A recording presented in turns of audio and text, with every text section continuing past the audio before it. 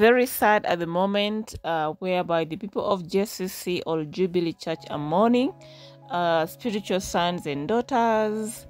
They are mourning the death of their father, the founder of uh, Jubilee Church, that is uh, Bishop Allan Kiuna, who has been battling with cancer uh, for years now. I have seen several celebrities also positing posting him, uh, mourning with the family, mourning with the church about the sudden death.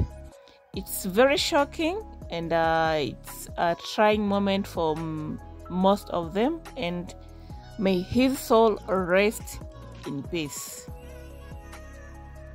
Now, we have also seen uh, the church members uh, do a praise statement confirming the death the death of their father, their spiritual father, that is a Bishop Allan Kiuna, and uh, they have or they have also uh, posted that uh, from 13th, 13th, 14th, and 15th, they're going to be daily prayers at the church just to celebrate uh, Bishop Allan Kiuna.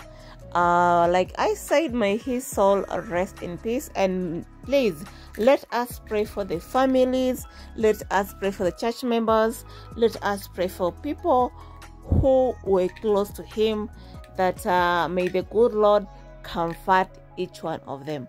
Thank you so much for watching.